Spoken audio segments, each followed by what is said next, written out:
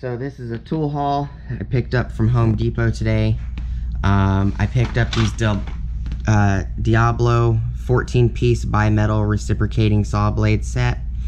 Uh, they do wood, metal, um, and flush cuts. It is um, part number DS0014 S is in Sam, P is in Polly, C is in Charlie, G is in Greg, P is in Polly. It comes with one uh, one blade. It's twelve dollar value. Carbide tipped for general purpose nine inch blade. It comes with uh,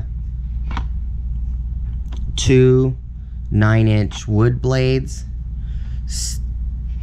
Uh, probably one, two, three, five or six six inch wood blades a few bimetal blades and a metal, a couple set of metal blades.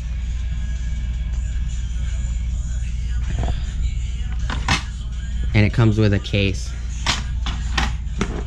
I got a 7 inch park bin organizer, part number 1000022666. I got two of those.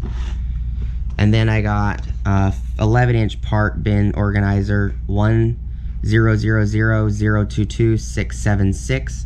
I got three of those. I got some square tubing and a couple flat stocks of metal.